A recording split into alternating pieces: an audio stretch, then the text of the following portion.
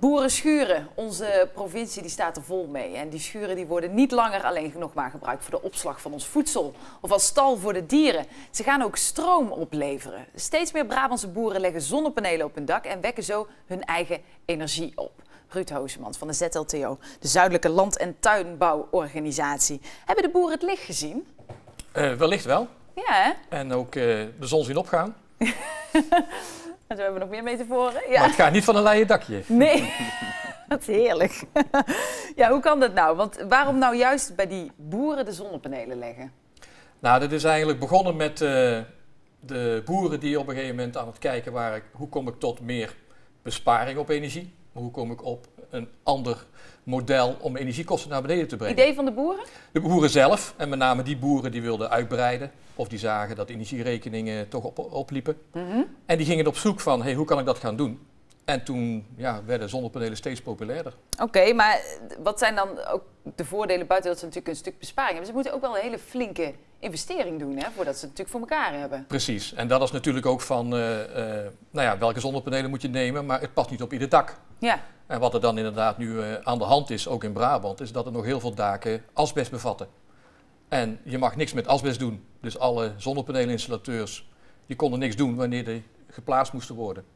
Nou, dat zijn we op gaan pakken om dan mogelijk te maken om asbest eraf te halen en zonnepanelen terug te plaatsen. En dat is jullie rol? En dat is onze rol met anderen, maar dat hebben wij zo opgepakt dat we dat uh, ja, in grotere groepen ondernemers uh, aantrekkelijk konden gaan maken. En meer uh, ja, meters konden maken voor de asbestsanering. Maar nog leuker, nog meer kilowatturen konden gaan opwekken op die grote daken. Ja, klinkt duurzaam. Dat is het ook zeker. We gaan even een, een kijkje nemen bij een agrarische ondernemer die al heel veel van die zonnepanelen heeft. We hebben in 2013 de eerste keer zonnepanelen geplaatst. En vervolgens hebben we vorig jaar asbestplaten eraf en zonnepanelen erop. Het tweede gedeelte van de zonnepanelen geplaatst. En we zijn nu helemaal zelfvoorzienend. Wij hebben berekend dat we na 8 tot 9 jaar de kosten eruit hebben. We hebben vorig jaar een heel mooie zomer gehad en daardoor gaat het wat sneller. Het zou best kunnen dat we na 7, 8 jaar de zonnepanelen terugverdiend hebben. En daarna gaat het alleen maar opleveren. Dus dat is heel mooi. We hebben vier omvormers hangen en in totaal doen die ongeveer 50.000 watt piek omzetten op jaarbasis in uh, wisselspanning.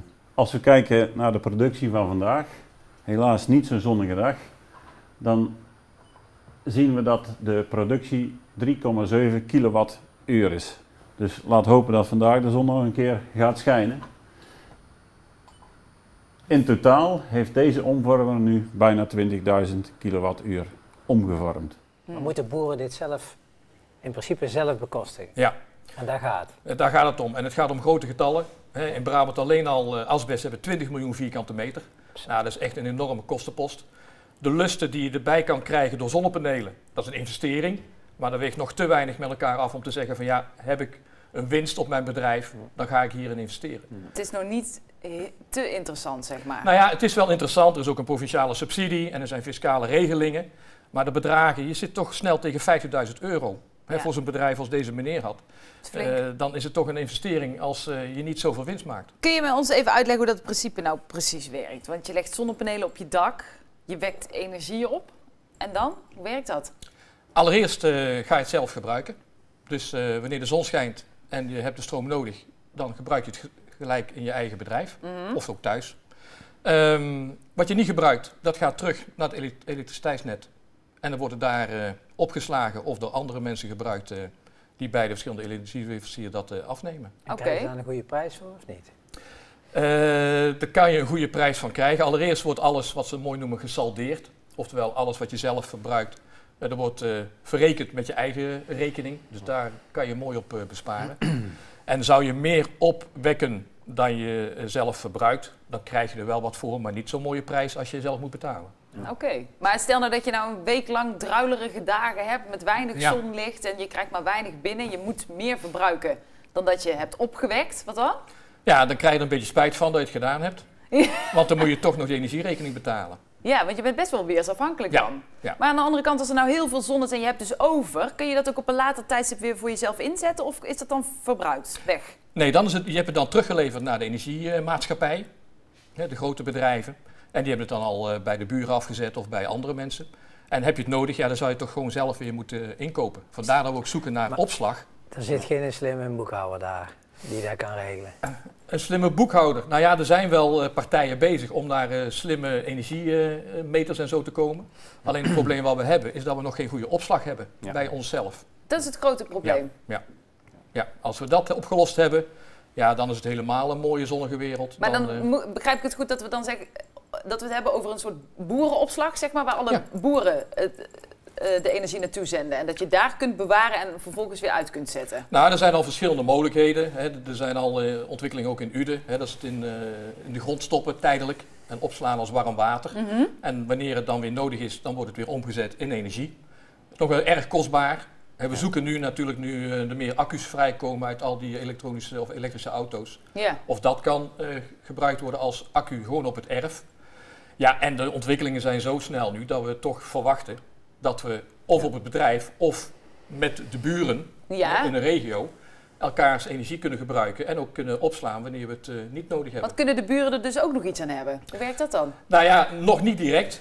Hè. Eh, ze kunnen het indirect gebruiken omdat de zonnepanelen, energie die opgeleverd wordt door de boer naar de energiemaatschappij, dan krijg je energie, de groene energie. Mhm. Dus indirect wel. Alleen, eh, nou ja, er zijn al initiatieven als Boer zoekt buur, eh, waarin we toch de buren erbij willen halen, en met name de biologische boeren, om dan nog niet het energie te gebruiken, maar wel mee te helpen om die zonnepanelen eh, geïnstalleerd te krijgen en Dus energie te op te wekken.